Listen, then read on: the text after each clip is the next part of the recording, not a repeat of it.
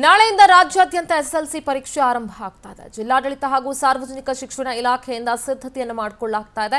ಪರೀಕ್ಷಾ ಕೇಂದ್ರದ ಸುತ್ತಲೂ ಸಿಸಿಟಿವಿ ಕಣ್ಗಾವಲಿರುತ್ತೆ. ಪರೀಕ್ಷಾ ಕೇಂದ್ರದ ಸುತ್ತ ಸೆಕ್ಷನ್ ಒನ್ ಫಾರ್ಟಿ ಫೋರ್ ಅನ್ನ ಜಾರಿ ಮಾಡಲಾಗಿರುತ್ತೆ.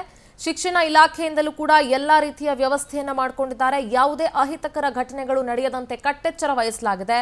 ವಿದ್ಯಾರ್ಥಿಗಳು ಭಯವಿಲ್ಲದೆ, ಆತಂಕವಿಲ್ಲದೆ ಪರೀಕ್ಷೆ ಬರೆಯುವಂತೆ ಮನವಿಯನ್ನು ಮಾಡಿಕೊಳ್ಳಲಾಗಿದೆ. ಮಂಡ್ಯದಲ್ಲಿ ಡಿಡಿಪಿಐ ಜವರೇಗೌಡರು ಈ ವಿಚಾರವಾಗಿ ಹೇಳಿಕೆಯನ್ನು ನೀಡಿದರು. ದಿನಾಂಕ ಅಂದರೆ ಇಪ್ಪತ್ತೆರಡು ಇಪ್ಪತ್ತ್ಮೂರನೇ ಸಾಲಿನ ಎಸ್ ಎಲ್ ಸಿ ಪರೀಕ್ಷೆ ನಾಳೆಯಿಂದ ನಮ್ಮ ಮಂಡ್ಯ ಜಿಲ್ಲೆಯಲ್ಲಿ ಪ್ರಾರಂಭ ಆಗ್ತಾ ಇದೆ. ಒಟ್ಟು ಹತ್ತು, ಗಂಡು ಮಕ್ಕಳು ಹತ್ತು ಸಾವಿರದ ಆರುನೂರ ಐವತ್ತ್ಮೂರು ಹೆಣ್ಮಕ್ಳು ಒಂಬತ್ತು ಸಾವಿರದ ಒಂಬೈನೂರ ಮೂರು, ಒಟ್ಟು ಇಪ್ಪತ್ತು ಸಾವಿರದ ಐನೂರ ಐವತ್ತಾರು. ಪ್ಲಸ್ ಕ್ಯಾಂಡಿಡೇಟ್ಸು ಇನ್ನು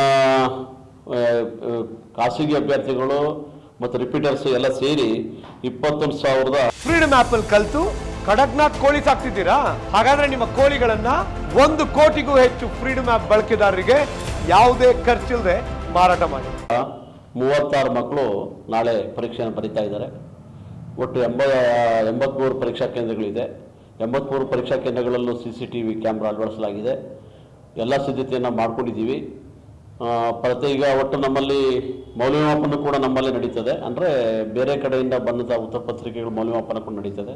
ಅದಕ್ಕೆ ಆರು ಕೇಂದ್ರಗಳನ್ನು ಮಾಡಿಕೊಂಡು ಅದು ಸಿದ್ಧತೆ ಮಾಡ್ಕೊಂಡಿದ್ದೀವಿ. ಆ ಥರದ್ದು ಏನು ಪ್ರಕರಣಗಳು ಬಂದಿಲ್ಲ. ಎಲ್ಲ ಸಿದ್ಧತೆಯನ್ನು ಮಾಡ್ಕೊಂಡಿದ್ದೀವಿ ಒಟ್ಟಾರೆ. ಒಟ್ಟಲ್ಲಿ ನಾನು ಮನವಿ, ಮಕ್ಕಳು ಯಾವುದೇ ಆತಂಕಕ್ಕೆ ಒಳಗಾಗದೆ, ಏನೇ ಏನೇ ಹೇಳಿದ್ರು ಅದಕ್ಕೆ ಯಾವುದು ಕಿವಿಗೊಡದೆ ನಿರ್ಭಯವಾಗಿ. ಫ್ರೀಡಮ್ ಆಪ್ ಅಲ್ಲಿ ಕಲ್ತು ಕಡಕ್ನಾಥ್ ಕೋಳಿ ಸಾಕ್ತಿದ್ದೀರಾ? ಹಾಗಾದ್ರೆ ನಿಮ್ಮ ಕೋಳಿಗಳನ್ನ ಒಂದು ಕೋಟಿಗೂ ಹೆಚ್ಚು ಫ್ರೀಡಮ್ ಆಪ್ ಬಳಕೆದಾರರಿಗೆ ಯಾವುದೇ ಖರ್ಚಿಲ್ಲದೆ ಮಾರಾಟ ಮಾಡಿ.